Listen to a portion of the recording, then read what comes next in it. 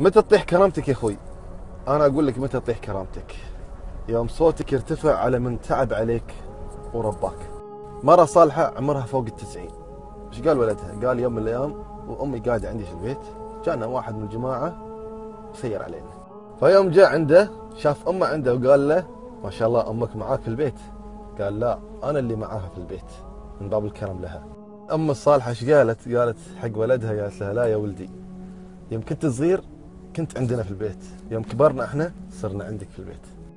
ما قريت كلام الله سبحانه يقول بسم الله الرحمن الرحيم إما يبلغن عندك الكبر أحدهما أو كلاهما. صدق الله العظيم. الولد قال حق أمه كني أول مرة أنا أسمع هالآيات. كل شيء يا إخوان مع الوالدين يضعف مع تقدم السن. إلا شيء واحد يا إخوان عاطفة الأب والأم. تزداد قوة. إي والله إنها تزداد قوة. فاحذر أنت وياه. احذروا. أنكم تطفون هالعاطفة ببرودة مشاعركم.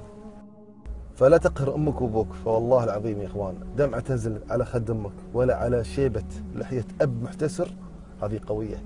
كفيلة يا إخوان بأنكم تغرقون في ظلمات الحياة. واكثروا بالقول رب اغفر لي ولوالدي. رب اغفر لي ولوالدي تجمع بين ثلاث كلمات. الدعاء والبر والاستغفار. واسمحوا لي على الإطالة يا إخوان. أعتقد فهمتم عن الموضوع اللي أنا تكلمت عنه. أتمنى أنه ينال إعجابكم. يعطيكم